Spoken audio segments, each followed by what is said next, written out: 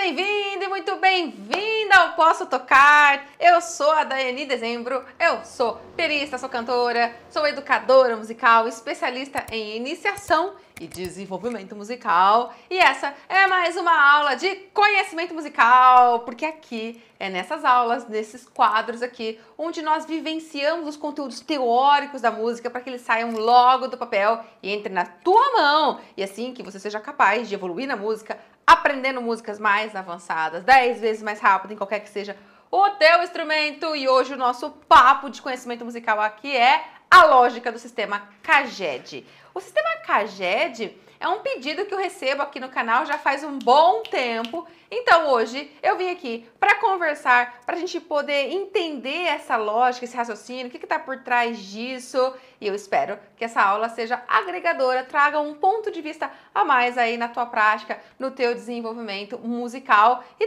técnico também, tá bom? Então, vamos lá. CAGED. O CAGED é a abreviatura de cinco notas musicais. CAGED. C-A-G-E-D. Se você conhece música, se você está estudando, você sabe que essas letras aqui são usadas para representar os acordes. Nós não usamos essas letras para representar notas. Aqui no Brasil a gente não usa. Quando a gente está falando sobre nota musical, a gente fala dó, ré, mi, fá, sol, lá e si. É assim que nós nomeamos as notas. Porém, as letras do alfabeto, elas são também usadas aqui sim, mas para representar os acordes. Em outros países, a, a, as notas do alfabeto, a, as letras do alfabeto representam também as notas, tá? É que aqui a gente não usa. Agora, o fato é que cada uma dessas letrinhas aí, elas são a abreviatura desses acordes. O acorde Dó, o acorde Lá, o acorde Sol, o acorde Mi e o acorde Ré. Caged, C, A, G, E e D. Dessas notinhas aqui. Esse é um sistema didático muito comum, muito popular no estudo do violão e da guitarra. Você sabe que eu não sou violonista, também não sou guitarrista, portanto, você sabe que eu não vou abordar aqui a questão técnica envolvida sobre essa esse sistema e a, e, a, e a forma de conduzir o aprendizado dele. Mas vou abordar aqui um ponto de vista que é muito importante, que é a lógica harmônica que está por trás desse sistema aqui.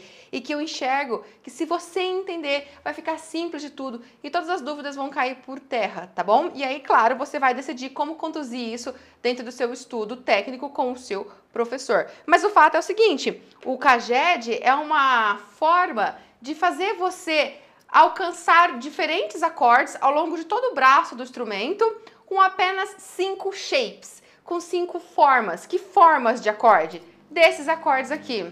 O CAGED é o seguinte, é você aprender a fazer esses cinco acordes aqui, você aprende a fazer o shape, ou seja, a posição da mão que você usa para fazer o acorde de Dó, o shape que você usa para fazer o acorde de Lá no instrumento, o shape de Sol, o shape de Mi e o shape de Ré. Você aprende esses shapes e com esses cinco formatinhos diferentes, você faz todos os outros acordes ao longo do braço do instrumento. E assim você vai tendo possibilidades sonoras e possibilidades timbrísticas diferentes. O que, que eu quero dizer? Eu quero dizer o seguinte: quando você faz o acorde de Dó com o shape de Dó, que é mais ou menos assim, vou representar no ar, né? Mas quem é violonista e quem é guitarrista sabe.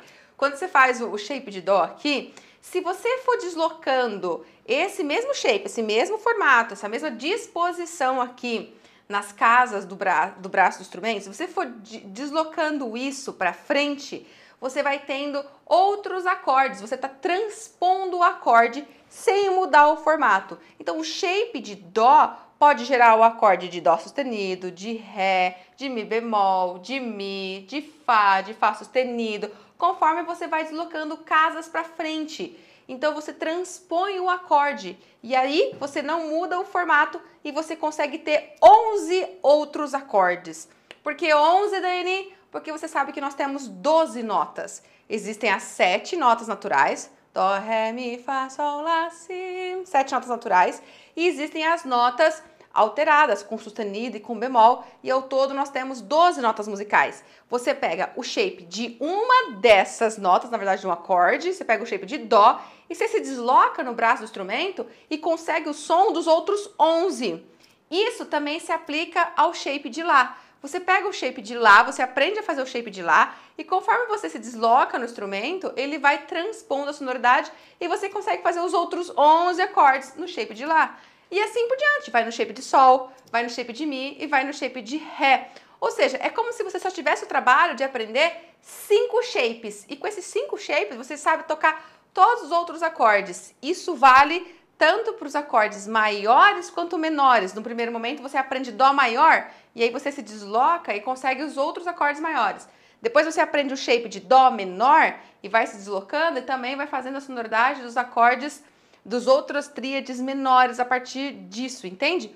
Então, na verdade, a ideia é que você se desloque, você ande pelo instrumento e que se você conhecer bem esse instrumento, se você conhece as notas, como elas estão dispostas, você sabe o nome das notas, você vai entendendo por que, que a gente consegue transportar o som. É, essa é a grande sacada, assim. Ah, se você domina esse mapeamento do instrumento, você sabe quais são as notas que você está tocando, você entende a lógica. Mas presta atenção no que eu estou falando. Ah, muitos alunos, quando estão começando a fazer aula do instrumento, especialmente do violão e da guitarra, não dominam as notas que estão fazendo. Eu não estou falando notas acorde, eu estou falando as notinhas do braço do instrumento. Porque quando você vai lá aprender o acorde, você aprende, aprende o shape e bate aqui, né? Faz a, a, a outra mão aqui, fazer a batida.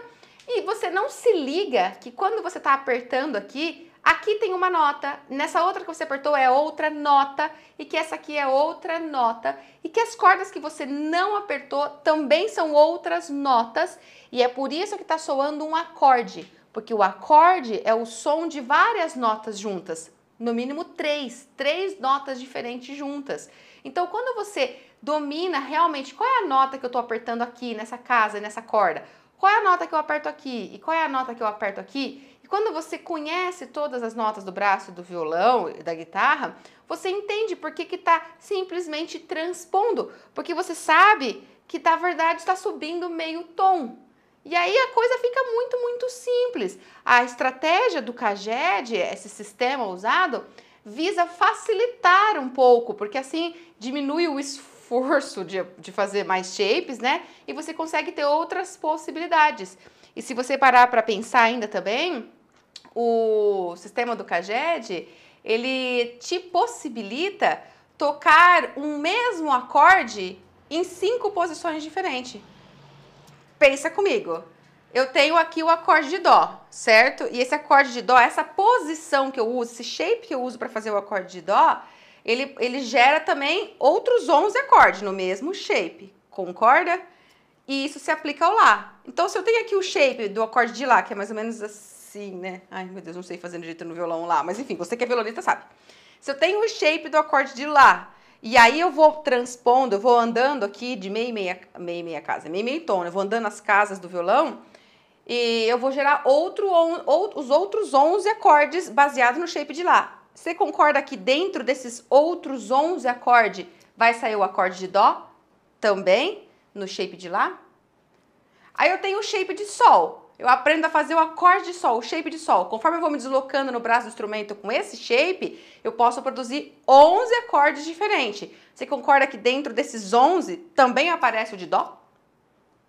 E aí eu vou no acorde de Mi, o shape de Mi. E eu posso deslocando e eu vou tirar os 11 outros acordes possíveis. Onde está o Dó no meio? E isso se aplica ao de Ré. Você concorda comigo que eu consigo tirar o acorde de Dó em diferentes shapes? E nesses aqui, nesses outros shapes, então o sistema do CAGED, ele possibilita que eu tenha para um mesmo acorde, cinco posições diferentes para um mesmo acorde. E isso traz uma pesquisa timbrística, porque eu posso, eu posso é, ter, pesquisar qual acorde eu quero, qual sonoridade eu quero. Conforme eu mudo o shape, eu vou me deslocando na casa, acaba tendo timbres diferentes esses acordes. Essa é uma das possibilidades que o, que o violão traz, essa pesquisa de timbre. Por isso que o CAGED também possibilita esse entendimento. Tá bom? Para ficar mais claro, eu quero mostrar um exemplo para você, para que não fique só na minha fala e, logicamente, o meu exemplo não vai ser comigo tocando, porque eu não sou violonista. Então, eu vou te mostrar um exemplo aqui que eu vou projetar na sua tela para você entender essa lógica. Veja comigo, eu vou colocar aqui, ó, é, eu quero que a gente observe a página 4 desse material. Eu fiz uma seleção aqui de algumas coisas que eu quero mostrar para você, mas vamos direto na página 4, depois eu vou, eu vou repassar as outras páginas para você entender, tá? Olha aqui o que temos aqui que vai aparecer para você. Aqui tem o um modelo de Dó. O acorde, o shape de Dó. Você está vendo que está o shape de Dó, as três cordinhas que toca, onde cada uma dessas cordas que estou tocando, estou apertando aqui, representam uma das notas do acorde de Dó. Aonde tem o T aí é a tônica, Aonde tem o 3 é a terça do acorde e aonde tem o 5 é a quinta. Então você está percebendo que as notas que estão ali desenhadas com bolinhas coloridas, tem umas bolinhas rosa que é a tônica, e as bolinhas pretas que é a terça e a quinta do acorde, essas, essas notinhas a serem tocadas fazem soar o acorde de dó. E aí eu pego esse mesmo formato, essa mesma distância, ou seja, não mudo. A tônica ela tá aqui na, na segunda corda, a terça ela tá na terceira corda e a tônica de novo tá lá na quinta corda. Então isso não muda. Eu estou apertando dessa forma, eu me desloco duas casas para frente no braço do instrumento e eu produzo o som de ré maior, mas no shape de dó. O formato é o mesmo. O formato, a distância, eu toco lá na segunda corda, tá vendo? Eu deixo na segunda corda, eu toco lá na terceira corda, toco na quinta corda, eu mantenho isso do mesmo jeito. E aí eu mudo duas casas para frente, me desloco no braço do instrumento e eu vou produzir o acorde de Ré automaticamente. Agora, por que que vai produzir isso? Porque volta ali nessa página anterior, na página 3, agora para você entender. O que você precisa ter de forma clara na sua mente é esse mapeamento visual aqui, ó, que está aqui embaixo com as notinhas na, na, no braço do instrumento. Você tem que saber que o instrumento, ele se desloca de meio meio tom. Toda vez, você sabe as cordas, não é? As cordas do violão, mi, lá, ré, sol, si, mi, ou, né, da mais aguda para mais grave. Ixi, tem que falar o contrário. Não sei falar o contrário. Ó, as cordas do violão. Cinco e seis, né? Então, mi, lá, ré, sol, si e mi. O contrário, mi, si, sol, ré, lá, mi, né? Da primeira para a sexta corda, no caso, como eu falei, da sexta para a primeira, né? Enfim, você tem que saber que isso aqui, quando você põe uma casa, quando você fecha aqui contraste, aqui eu vou ter uma nota, se eu aperto aqui, eu vou ter, vai soar uma nota que é um semitom acima. Quando eu ponho outra casa e aperto aqui, vai soar mais um semitom acima. Tem mais uma casa e aperto aqui, mais um semitom acima. Então você vai tendo que entender e que conhecer as notas que estão ali. Então você pode ver na primeira corda aí, o mizinho agudinho, né? O mi, depois o fá, depois fá sustenido, depois sol, conforme eu vou me deslocando nas casas do instrumento, eu vou tendo meio tom acima. E isso se aplica a todas as cordas. Depois ali na segunda corda, a corda lá, é isso mesmo, tá? Isso mesmo. Nossa, tá ao contrário do que eu desenhei. Isso mesmo. Acorda lá, lá, meio tom pra, na próxima casa, primeira casa, lá se eu aperto na segunda casa, si, aperto na terceira casa, dó, vai indo de meio e meio tom. Assim a gente tem as 12 notas cromáticas. Você tem que ter essa correspondência tátil. E é justamente por causa desse deslocamento de meio em meio tom que a gente tem uma riqueza do violão, que é encontrar a mesma nota em cordas diferentes, em casas diferentes. Ó, você pode ver nessa página 3 aí que existe uma legenda de cores. Essa, esse, esse gráfico é muito bom para que você entenda que todas as notinhas que estão pintadas de cor de rosas, bolinhas cor de rosas, são nessa região aqui escrita com linhas suplementares na clave de sol. Aonde eu toco, qual é a escrita, né? Qual é a correspondência desse som na pauta? É o que está de cor de rosa. E aí você pode ver as notinhas lá, tá vendo que tem duas notas, duas notas lá em cor de rosa? Quais são as duas notas lá? Na primeira corda, na, na quinta casa, tem uma nota lá em cor de rosa. E a segunda corda, a segunda corda solta, é a mesma nota lá. Então você percebe que a nota lá, escrita nesse gráfico aí, ó, com duas linhas suplementares, assim, deixa eu grafar aqui, só para ter a certeza de que você está acompanhando, ó, essa nota lá aqui, tá vendo essa notinha aqui? Ela aparece, a, na, a possibilidade sonora dela tá lá na primeira corda, na quinta casa, é essa nota lá, e a segunda corda solta, sem apertar casa nenhuma, solta. A hora que eu aperto essa corda aqui, a, a segunda corda é a mesma escrita da nota lá. O violão, ele possibilita que a gente encontre a mesma nota em cordas diferentes e em casas diferentes. A mesma nota. É um instrumento com diferentes possibilidades da, do mesmo som, de encontrar o mesmo som. E você tem que conhecer isso. Isso tem que estar tá cada vez mais assimilado para você. Então, esse gráfico aqui é muito bom. Se eu fosse você, eu tirava um print dessa tela para você poder salvar isso para você que está estudando, que está tentando conhecer e mapear tatilmente o seu instrumento. Porque o instrumento do violão e da guitarra, ele não é um instrumento tão visual, por exemplo, quanto o piano. E essas possibilidades de ter a mesma nota é, encontrada em diferentes situações, também é algo muito particular do violão. E se você tem familiaridade com isso, com essas notinhas e a correspondência da grafia delas, se esse pensamento tá cada vez mais natural para você, você saber que nota que é aquela, saber onde ela se escreve ali na partitura, se isso tá natural para você, quando você volta lá na página que a gente estava, página 4, você entende o porquê que esse modelo aqui do violão, eu saio de um formato do acorde de dó, do shape de dó, ando duas casas sem mudar o shape e está soando as notas do acorde de ré. Mas como, Daiane? Porque se você conhece bem o instrumento e entende que o acorde de dó ele é formado por uma tônica, uma terça maior e uma quinta justa, e o acorde de ré também, porque a formação dos acordes maiores é sempre a mesma, tônica, terça maior e quinta justa. E baseado nessa formação, que é sempre a mesma, se você conhece e pensa rápido os intervalos, você calcula que a tônica do acorde de Dó é Dó, que a terça maior de Dó é Mi e que a quinta justa de Dó é Sol. Assim, você também calcula que a tônica de Ré maior é Ré, que a terça maior de Ré é Fá sustenido e que a quinta justa é Lá. E assim você calcula. Você calcula os intervalos, entende que a formação é a mesma, olha para o braço do teu instrumento e sabe que se você estava tocando aqui uma notinha que era Dó, se eu deslocar para cá no braço, é Dó sustenido. Se eu deslocar para a próxima casa, é Ré. Então, o fato de eu deslocar duas casas, transporta para ser outra nota. Então, o que eu tocava antes e era tônica Dó, quando eu andei duas para frente, agora sou a Ré. Você também sabe que se eu tocar uma notinha que era Mi, eu ando para frente uma casa, ela vai ser Fá. Eu ando mais uma casa, vai ser Fá sustenido. Porque ela vai se deslocando no instrumento de meio e meio tom. Então, onde eu estava apertando e era o Mi, o simples fato de eu me deslocar duas vezes, andei dois semitons, soa a terça que é desse aqui. E aqui, mesma coisa.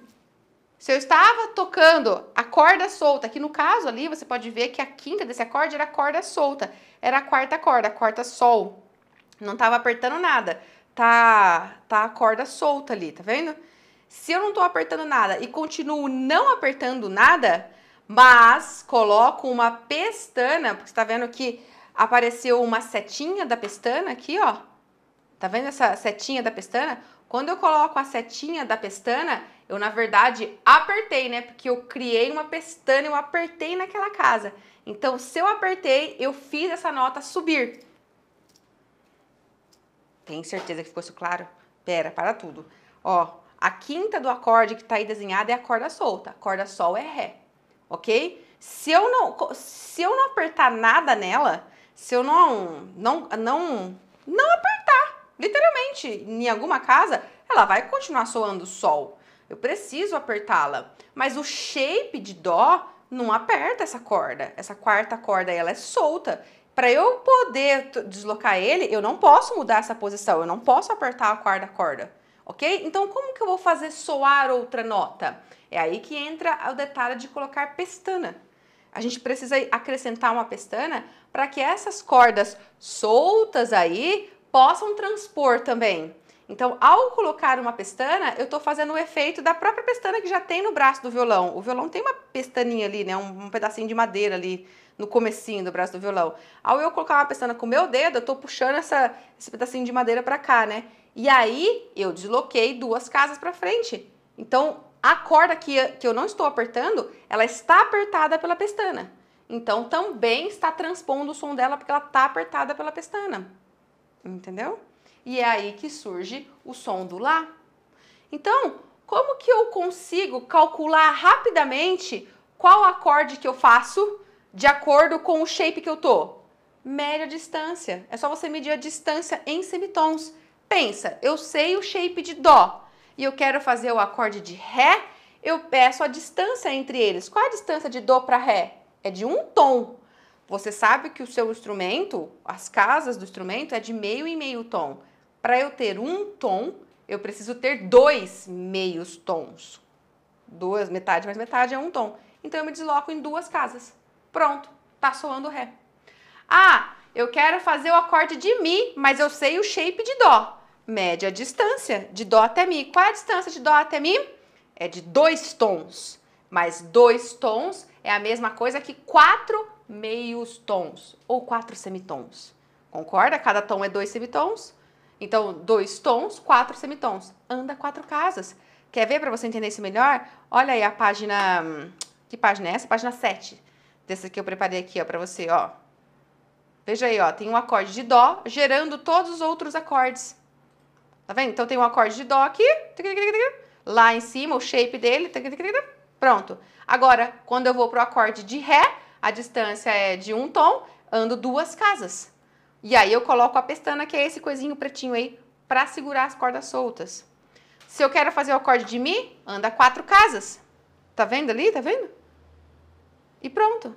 Então, Dó. Se eu andasse uma casa, seria Dó sustenido, duas casas, Ré. Se eu ando mais uma, Dó, Dó sustenido, Ré, Ré sustenido, ou Mi bemol, seria depois mais uma, Mi. Eu vou me deslocando. É legal, não é? Ó, Dó. Ah, Andar, isso mesmo, o dó tá na primeira casa, andar quatro casas vai fazer eu pegar na quinta casa. Isso, isso aí, tá vendo? Por isso que começa na quinta casa. Quando eu vou pro acorde de Fá, vai nas... Tá errado isso aí, né? Ah, não, tá certo. Hã? Tá certo. Um, dois, três, quatro, cinco. Um, dois, três, quatro. Isso. Vai na quinta casa. E aí por diante. Entende? Então, a, a, grande questão é você conhecer essas distâncias de semitom e ter a prontidão de entender que eu estou transpondo essas notas, a formação intervalar. É isso que vai trazer a lógica para você ter facilidade para encontrar o acorde que você quer com poucos shapes que você domina. E também, não só por dominar poucos shapes, por explorar sonoridades diferentes. Tá bom? Agora, você tem que saber analisar o CAGED, analisar essa formação, esse sistema, porque assim, uh, existe uma lógica da formação dos acordes que ela se perpetua aqui, quando você está encontrando outros acordes. Então, quanto mais você conseguir olhar por uma harmonia, quanto mais você olha para um acorde C ou acorde G, quanto mais você olha para a cifra e você não só vê shape, você tem que ver o shape, mas não só isso, quanto mais você vê dentro disso aqui uma, uma combinação sonora, mais rápido você fica nos encontros que você precisa, nas soluções que você quer. Porque você tem que olhar para isso aqui e enxergar isso aqui. Você tem que enxergar essa combinação de notas. Porque quanto mais agilidade de raciocínio para encontrar aqui essa formação, mais você consegue entender o que está soando no seu instrumento, mais você consegue fazer pesquisa de sonoridades de acordes, porque você vai buscando isso no seu instrumento. Então, tem que deixar claro também que alguns modelos, alguns shapes não são tão utilizados, não com tanta frequência, porque não são tão fáceis de fazer, então ficam um pouco desconfortáveis. Para os acordes maiores, por exemplo, o shape menos usado é o Sol. Então, do Caged, o G, né, o acorde Sol, é o menos usado. Os outros são mais usados. O Mi, o Lá, o Ré e o Dó são, são mais usados. Para os acordes menores, além do Sol, o Dó também não é tão usado, porque não é tão confortável, pelo que eu entendi. Então, o Mi, o Lá e o Ré são os mais usados para fazer essa, essa busca de outros acordes mantendo esse mesmo shape. E vale dizer que, num primeiro momento, você começa a fazer isso aplicado apenas às tríades, mas depois isso se transporta também para as tétrades, para acordes com sétimas, acordes menores com sétimas, acordes com nona, porque a lógica, na verdade, está na transposição. O fato de você se deslocar, você está transpondo as notas, se deslocando de meio em meio tom, é uma transposição automática, ok? Fácil, não é? Primeiro de tudo, se concentra em aprender esses acordes aqui, da base, né? Esses acordes de Dó, de Sol, de Ré, de Lá e de Mi. Dó, Sol, Ré, Lá e Mi. Isso mesmo, é, Caged, isso mesmo. Aprende esses aqui, domina esses acordes. Então depois você vai conseguir pesquisar e encontrar os outros acordes e gradativamente vai alcançando automatismo nisso, tá? Talvez você esteja pensando assim, mas qual é o segredo então para eu entender e para eu utilizar o Caged? O segredo é você dominar a formação básica dos acordes. Você tem que saber como que forma um acorde de tríade maior, como que forma esse acorde de tríade menor e dessa formação, qual é a relação intervalar. Uma maneira prática de você começar a fixar isso é decorar. Decorar, literalmente. Não é uma coisa tão legal decorar, mas chega uma hora que é por decoreba, é de tanto você ver, você vai decorar, você vai memorizar. Então é você decorar a quantidade de tons e semitons entre essas, essas notas que formam uma tríade maior e uma tríade menor.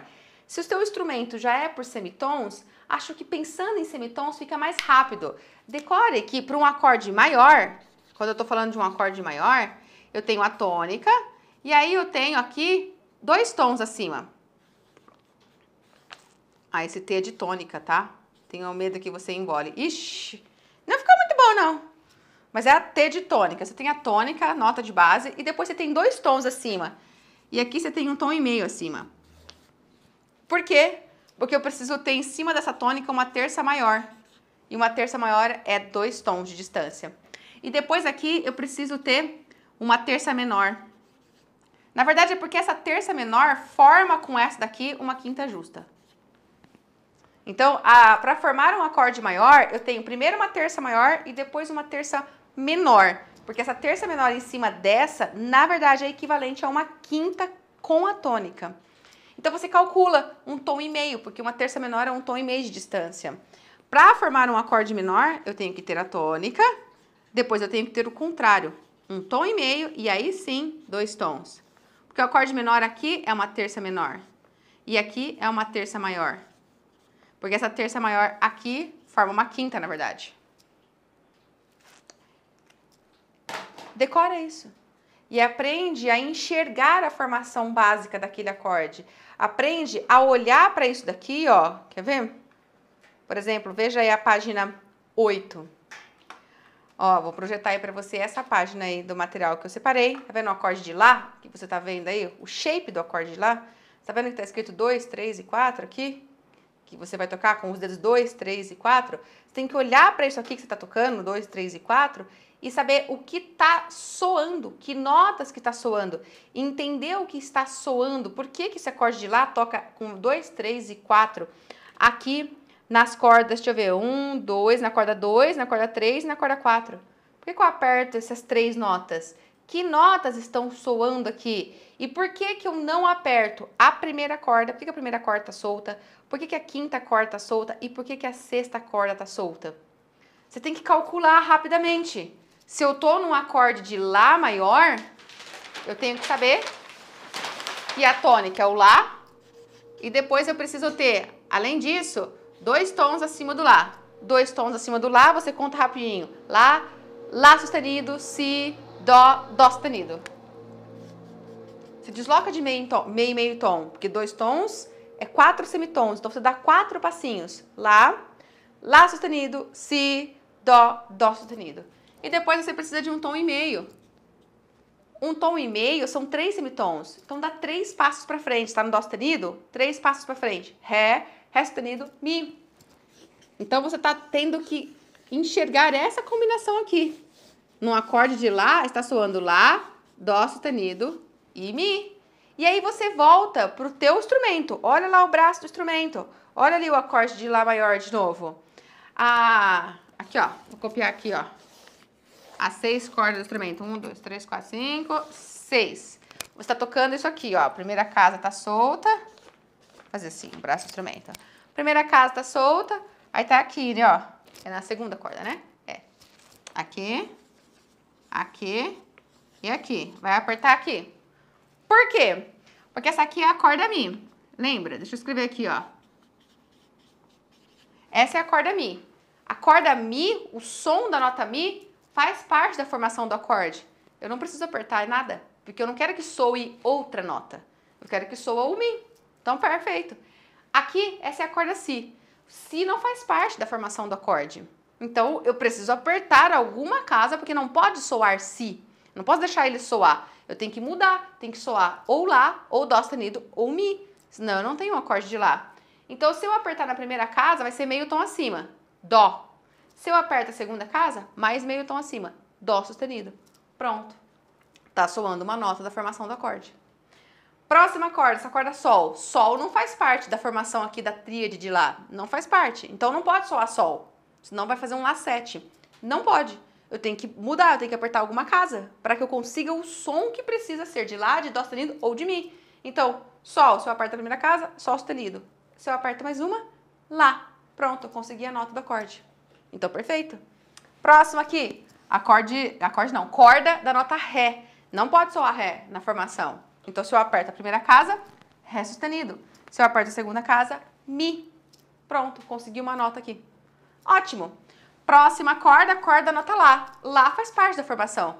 Não preciso apertar nada. Ela pode ficar solta, eu posso soar ela numa boa, eu posso percutir nela aqui, dedilhar ela tá tudo bem. Próxima corda, Mi. Mi faz parte da formação do acorde. Tá tudo bem. Pode deixar soar. Então eu entendo por que, que o shape é dessa forma. Por que, que eu tenho que tocar só essas três notas e deixo as outras soltas? E aí eu entendo quando eu venho aqui para aquela mesma imagem da página 8 e eu me desloco aqui para a primeira casa, eu, eu ando uma casa para frente, não para a primeira casa, né? Eu ando uma casa para frente do que eu tava. Tá vendo? Ele tava aqui, ah, não, ele andou duas casas para frente, não uma, para fazer o acorde de Si. Eu estou em Lá, vou para Si, o Si é um tom de distância de Lá. Um tom é dois semitons. Anda duas casas para frente. Ele andou duas casas para frente de onde ele estava e ele vai ter as notas que formam o Si, simplesmente porque ela se transpõe de meio meio tom. Então, o que era Lá vai soar Si, o que era Dó sustenido vai soar Ré sustenido e o que era Mi vai soar Fá sustenido. Sobe um tom todo mundo porque ele subiu um tom ao se deslocar duas casas. Qual é a lógica para eu entender? Enxergar essa formação aqui dos acordes, entender o braço do meu instrumento, ter a visualização das notas do meu instrumento, que é o que está aqui, ó. Eu vou voltar àquela imagem toda coloridinha. Você tem que entender o braço do instrumento. Veja aí, ó, quando eu me desloco pelo braço do instrumento, eu tenho que saber quais são essas notas. Eu tenho que enxergar a correspondência entre elas. Eu tenho que dominar isso. Tem até uma outra imagem que eu. Você pode estar pensando, ah, mas onde você pegou essas imagens? Na internet.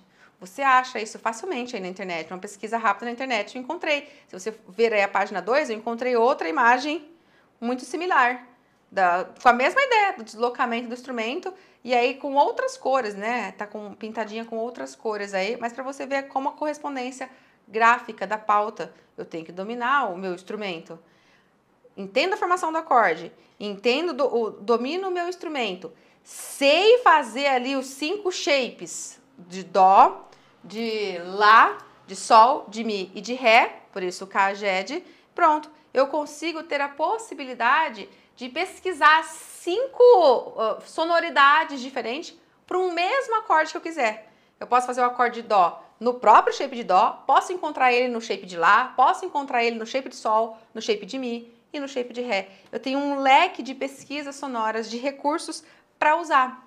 Vale dizer que o sistema CAGED ele também se aplica às escalas, ao deslocar as escalas, ao estudo das escalas, mas não, o meu foco aqui nessa aula não é trazer essa abordagem, ok? Eu quero apenas que a gente analise e entenda como é simples a lógica harmônica do sistema CAGED. Mas só é simples mesmo se para você a formação dos acordes, se quando você olha uma cifra, o teu raciocínio está rápido em saber quais são as notas que formam essa cifra. Só é simples se para você, além desse raciocínio estar rápido, se você domina tatilmente o teu instrumento, então você entende o que está tocando. Do contrário, você acaba entendendo o CAGED de um jeito muito intuitivo. Você apenas acaba pegando por imitação. Te ensinaram, você vai fazendo de um jeito intuitivo e isso pode ser um problema, porque pode bloquear muito a tua criatividade, pode bloquear muito a tua fluência na hora de tocar, pode te tornar apenas um músico um tanto quanto papagaio, sabe? É, não te deixa com recursos expressivos. Então, na verdade, o caged tem que ser olhado com cautela. É algo simples, mas é, você tem que ir além. Você tem que saber realmente responder qual é a formação dos acordes, por que, que está fazendo aquele acorde ali, quando você vê aquelas cifras, como que você está encontrando as notas daquela cifra quando você transpôs ele aqui pesquisou outra sonoridade. Você tem que ser capaz de saber, inclusive, aquelas notas que está tocando ali no braço do instrumento, onde elas são grafadas na partitura. Isso vai te tornando um músico que entende o que faz. Claro que na hora que você está tocando, você não está pensando nisso. Na hora que está tocando para valer, você treinou a música tocando. Essas questões você já abstraiu na hora que está tocando, porque está falando de performance, é diferente. Mas se você para de prestar atenção ali, de focar numa performance, e você começa a analisar o que você está fazendo, você tem esse domínio, você tem esse entendimento e você vê que é simples. Mas, de novo, eu repito, precisa estudar, precisa entender a formação dos acordes, precisa fazer exercícios que vão trazer agilidade para esse raciocínio harmônico. Do contrário, você pode estar me assistindo e falando, não tem nada simples, eu estou boiando. É porque você não fez exercícios, não passou por um estímulo ainda de ter automatismo de olhar uma cifra, calcular os intervalos da formação entre ela, pensar rapidinho, saber encontrar aqui no instrumento. Ah, Daiane, mas dá para aprender tudo isso aí só na prática, eu não preciso ficar teorizando tanto, isso vai complicar, sabe? Sim, dá para aprender só pela prática, só intuitivamente, é, só por imitação de um padrão. Dá, é fato isso. Porém, você vai continuar estacionado. E vai continuar estacionado até quando? A palavra certa não é estacionado, é acomodado. Porque tudo que a gente aprende num primeiro momento que, que, é, que é bem básico, assim, que é fácil, que é o caminho mais fácil, Pode até ser uma estratégia didática. O professor pode ensinar por um caminho mais fácil mesmo, por uma estratégia didática de iniciação. Faz parte. Mas depois de um tempo, você continuar no básico, no feijão com arroz, sem entender o que está fazendo, sem se aprofundar, passa a ser uma autossabotagem, sem perceber. Às vezes uma autossabotagem inconsciente, porque você continua estacionado. Então você só toca sem saber por que, que você está tocando, fazendo desse jeito. E também, às vezes, você começa a se agarrar a isso como uma muleta. Então, eu, eu aprendi dessa forma, eu só faço os acordes pelo sistema do CAGED. Mas por que também não fazer de outras, fazer de outras formas, pesquisar outras formas de tocar? A gente não pode se limitar, entendeu? É, é, tudo que é uma estratégia didática tem a sua validade e tem a sua oportunidade e o seu tempo de validade. Chega uma hora que a gente tem que transpor isso. A gente tem que se desamarrar para não ser medíocre, para não ficar estacionado. Pensa nisso, tá? Ah, então, para que que serve, assim, quais os benefícios do, do sistema CAGED? Bom, além de você ter uma maior identificação das notas no deslocar na escala do seu instrumento, quando você vai fazer um solo ali, ele aumenta o teu repertório que se toca, porque, especialmente o repertório de, de violão, de guitarra que tá fazendo a base, que tá fazendo acompanhamento harmônico, né? Porque você não precisa saber tantos acordes, você aprendeu cinco shapes e eles te socorrem para você fazer ali uma progressão de acordes de várias músicas. Então aumenta ali, né? É, desperta que você toque várias músicas, aumente o teu repertório sem tanto esforço ali. A palavra certa não é esforço, né? Com, com poucas ferramentas que você aprendeu, com poucos shapes, você já tem um aumento de repertório. É, também existe a questão de você trazer sonoridades diferentes para os acordes, tem essa pesquisa de timbre do acorde, já que eu posso tirar o mesmo acorde em diferentes posições, ah, o timbre que eu tiro é diferente. Então, de repente, para uma música, eu quero fazer esse timbre aqui, eu uso aquele, eu quero aquele outro. Então, tem essa pesquisa de interpretação. Um, ele aumenta a liberdade de quando você está tocando, porque você não precisa fazer apenas o acorde naquele lugar. Você pode facilitar, se você está num, num, acorde numa posição aqui, algum outro é mais próximo, não tem tanto salto, deslocamento no braço do instrumento, você pode facilitar e já fazer esse encadeamento de acordes mais fácil. Então, ele facilita a vida, especialmente quando a gente está começando. Eu entendo que é especialmente quando a gente está começando a estudar e a desbravar o caminho aí do universo das cordas. Como eu te disse, o caged é algo muito próprio da guitarra e do violão e quando eu comecei a receber perguntas aqui no canal, ah, mas explica sobre o sistema CAGED, explica, explica, explica, eu fui atrás para ver, falei, mas o que é esse sistema CAGED, que não é algo do piano, mas é algo de uma lógica muito simples e bem bacana, bem bacana, válida para quando a gente está começando, tá bom? Mas eu digo e repito, você tem que acelerar a velocidade que você tenha, que você tem de perceber a formação dos acordes. Eu vejo muita dificuldade nos alunos, nos, nos, seguidores que eu tenho aqui no canal, que são violonistas e que são guitarristas, muita dificuldade de enxergar as notas que fazem parte da formação do acorde. Mas por quê? Violonista tem dificuldade? Não, é porque não estudou, não fez exercícios disso, não foi buscar um aprofundamento, uma vivência nesse campo de estudo da harmonia. Precisa, tá bom? Tem que ter naturalidade para isso. Mas toda naturalidade só vem pelo contato, pelo estudo, pelo exercitar. Então, não adianta eu fazer milhões de exercícios aqui com você nessa aula para te fazer ficar muito bom em enxergar acordes. Não é num único dia, é fazendo vários exercícios, dando tempo para o seu corpo, para o seu raciocínio se otimizar nisso. Aí, quando você vai tocar, você conecta, enxerga, faz pesquisas de timbre, escolhe ali a sua sequência de acordes, a sua forma de colocar esses acordes e conecta com a prática. Uma coisa amarra a outra, que é a essência. Tá bom? Espero que você tenha curtido, porque é uma aula básica, simples, para te despertar o teu olhar para a lógica harmônica.